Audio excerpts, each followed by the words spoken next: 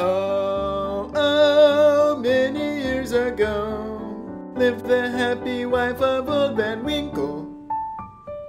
One day she drove poor Rip away as the little stars began to twinkle. All that he had, he had under his hat, and she was glad to see him go.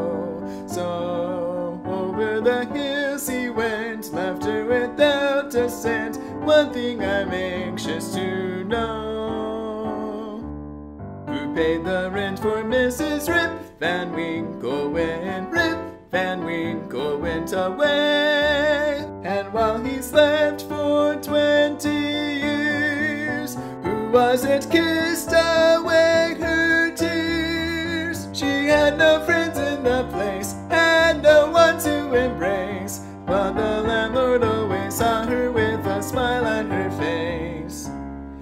Paid the rent for Mrs. Rip Van Winkle when Rip Van Winkle went away? Who paid the rent for Mrs. Rip Van Winkle Rip Van Winkle went away? And while he slept for twenty years, who was it kissed away her tears? She had no friends in the place,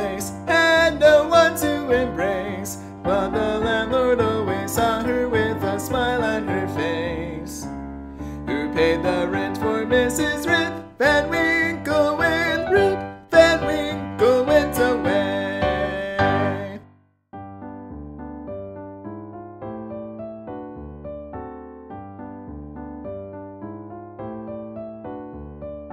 Oh, oh, many years ago, Napoleon crossed the Alps one day in winter. Oh, oh, history tells us so. Julius Caesar stepped upon a splinter. Miss Cleopatra, she knew how to love. She put a mark on Antony. So I've searched in history to clear the mystery. One thing that's worrying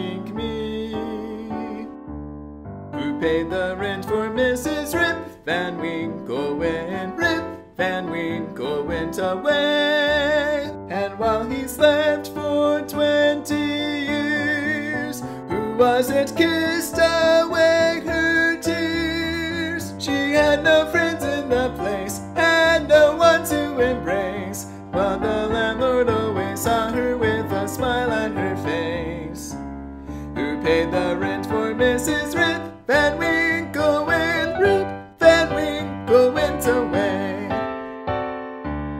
Who paid the rent for Mrs. Rip Van Winkle when Rip Van Winkle went away? And while he slept for twenty years, who was it kissed away her tears? She had no friends